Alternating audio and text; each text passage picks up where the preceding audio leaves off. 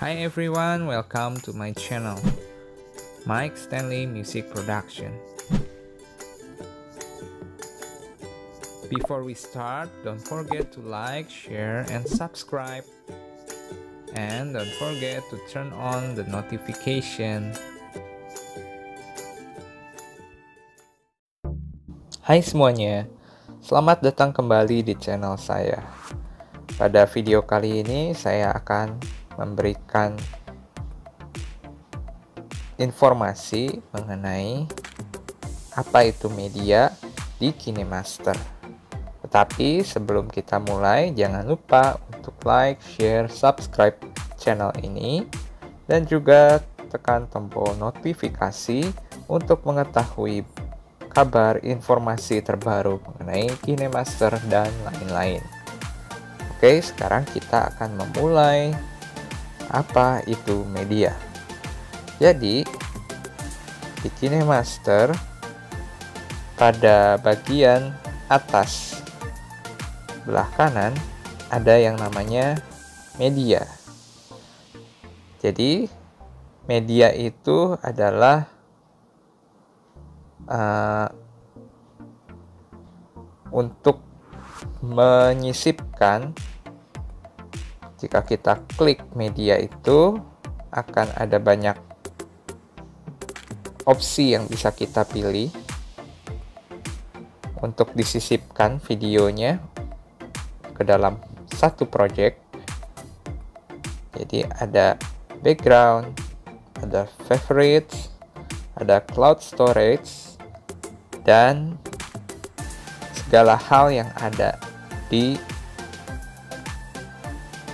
dalam smartphone kalian atau di dalam tablet kalian. Nah, untuk yang pertama, jadi media itu ada yang bergerak berupa video, ada juga yang fix diam, bisa berupa background seperti ini. Di bagian kiri atas ada background. Ini adalah bawaan dari KineMaster.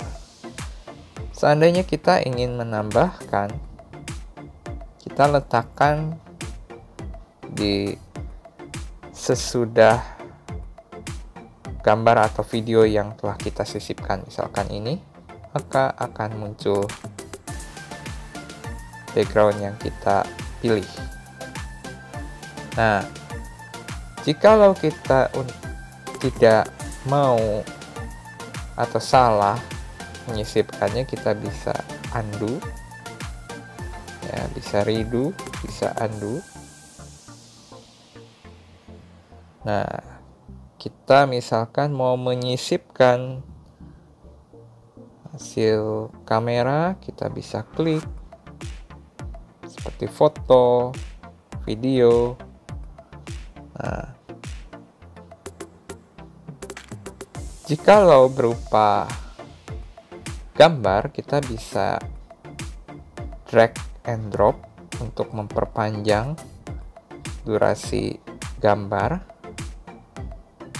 atau memperkecil durasi gambar. Oke. Jadi untuk media itu ada berbagai macam, tetapi itu fungsinya untuk menyisipkan gambar atau video, bukan menambahkan ya menyisipkan. Oke sekian video tentang media ini. Semoga hal ini bermanfaat bagi kalian. Terima kasih